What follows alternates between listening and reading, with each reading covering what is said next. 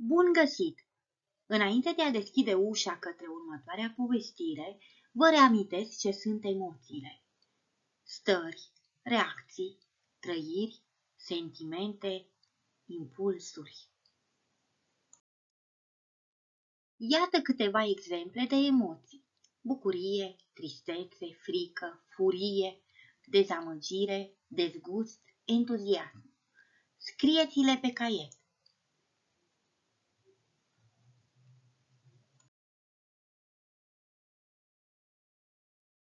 Realizați un pahar al emoțiilor. Veți colora cuburile de gheață folosind propriul vostru cod al culorilor, dar numai la finalul citirii textului. Bineînțeles, puteți să discutați în perechi culoarea aleasă pentru fiecare emoție. Ați terminat de desenat? Atunci sunteți pregătiți pentru a citi următoarea povestire. Citiți textul în ritmul vostru și bifați emoțiile trăite pe parcursul lecturii următoare. Citiți cu atenție. Lectură plăcută! Cu ele, după Pop Simion. Opriți filmarea și citiți în ritmul vostru. Opriți din nou filmarea pentru a afla continuarea întâmplării. Cum v-ați simțit pe parcursul lecturii? Răspundeți prin desen și arătați colegilor. Cum arată paharul vostru cu emoții? Discutați!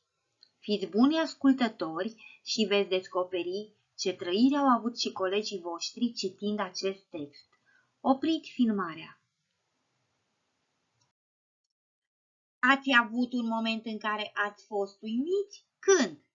În ce moment al povestirii ați simțit entuziasm? Opriți filmulețul și discutați. Exercițiul următor se numește Vreau să am ultimul cuvânt. Alegeți un fragment din povestire care v-a impresionat și motivați alegerea. Iată un model. Eu am ales următorul fragment. Tătânesul bătu cum făceau alți părinți.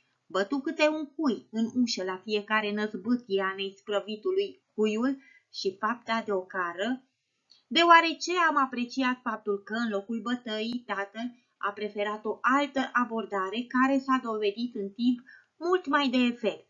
Băiatul a fost uh, lăsat să facă ce dorește, fără a ține cont de vreo regulă, până când zidul de cuie s-a transformat într-o oglindă ce a reflectat pentru prima oară în fața propriilor ochi sufletul. Și atunci fiul a decis să se schimbe. Așadar, consider că tatăl a ales un mod bun pentru a-l face pe băiat să înțeleagă că greșește. Puteți opri filmulețul și să alegeți un fragment din text pe care să-l prezentați colegilor după modelul oferit. Vă propun un exercițiu de imaginație în papucii personajelor. Întâmplarea cu ușa plină de cuie a ajuns pe posturile de televiziune, la știri și în alte emisiuni. Desfășurați un joc de rol în care personajele tatăl și fiul să fie invitate la o emisiune. Doi dintre voi vor juca rolul personajelor din povestire, unul dintre copii va fi moderatorul emisiunii, iar alți trei-patru copii vor fi ziariștii care vor pune întrebările.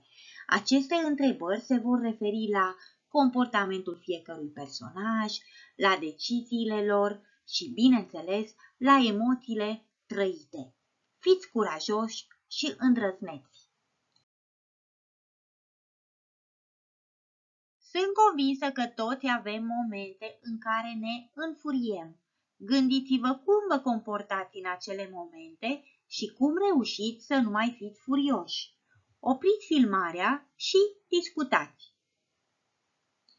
Ați auzit de tehnica broscuței testoase folosită în momentele în care simțim că explodăm de furie? Iată această tehnică reprezentată prin desen. 1. conștientizez că încep să mă enervez, 2. Mă opresc, 3. Mă gândesc la altceva, 4. Caut soluții. Aplicați și voi tehnica broscuței testoase în clipele în care simțiți că sunteți furioși.